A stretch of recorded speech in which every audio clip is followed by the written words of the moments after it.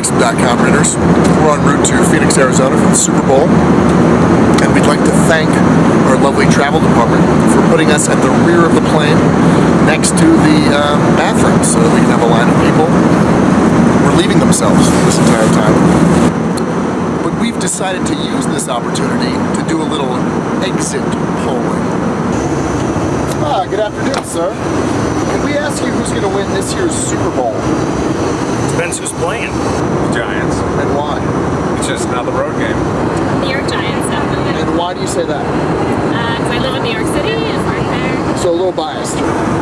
He's thinking about his answer. I think if uh, Brady's composed and he gets a lot of time to uh, set up and throw and pick the defense apart, New England's got a great shot. If New York can pressure him and Eli Manning stays composed, New York could be in there too. So my heart's with New York, but I'd favor New England.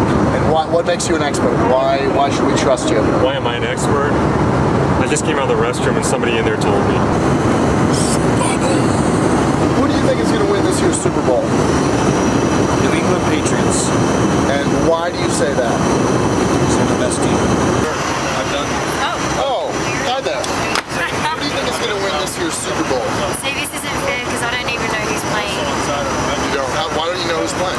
I'm Australian and I've heard it's a big deal and I've heard that I'm missing out. The Patriots and the New York Giants. New York Giants, New York Giants. And why do you say that? sure. Because they have a good name. Hey there. Hello. Who's to win this year's? Uh, who do you think's going to win this year's Super Bowl? New York, no, no, no, no. The Patriots. Why do you say that? Because we're shooting their cheerleaders, baby. What did you What did you do in